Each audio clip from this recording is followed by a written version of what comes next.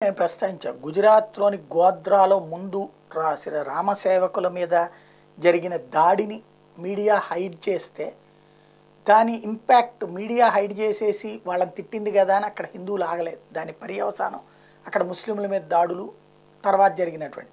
కానీ ఆ తర్వాత మీడియాతో పాటుగా అందరూ కూడా మైనారిటీల మీద దాడులు అని ఎంత విష ప్రచారం చేసినా పబ్లిక్ ఈ రోజు వరకు అక్కడ బీజేపీని ఎందుకు అనుకుంటున్నారంటే బాధపడింది వాళ్ళకి తెలుసు కాబట్టి. ఇప్పుడు సేమ్ గు- హర్యానాలో కూడా జరగబోతోంది అన్నటువంటిది ఆ రోజునే మాట్లాడుకున్నాం. ఇప్పుడు జరుగుతోంది అదే. ముస్లిం మత పెద్దలు కళ్ళ ఎదురుగుండా బంగ్లాదేశ్ వాళ్ళు బర్మా వాళ్ళు వచ్చి అక్కడున్న హిందువుల మీద దాడులు చేశారు. వాళ్ళే షెల్టర్లు ఇచ్చారు అక్కడ ఉన్నటువంటి వాళ్ళు.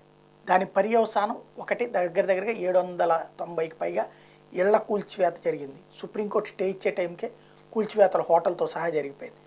మరొక ఈ ఘర్షణలు శృతిమించి ఇప్పుడు ముస్లింల మీద దాడుల కిందకి మారుతున్నాయి.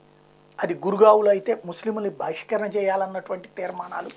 అదే సందర్భంలో తాజాగా చూసుకుంటే గురుగ్రామంలోని కన్సా గ్రామంలో ఓ దర్గాకి ఆదివారం అర్ధరాత్రి దాటిన తర్వాత దొండగలు నిప్పంటించేది కలకలం సృష్టించింది స్థానికుల సాయంతో మంటలను అదుపులో తీసుకున్నారు.